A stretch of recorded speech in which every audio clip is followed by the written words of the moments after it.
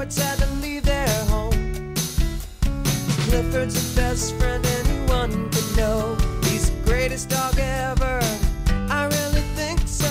Clifford's a loyal.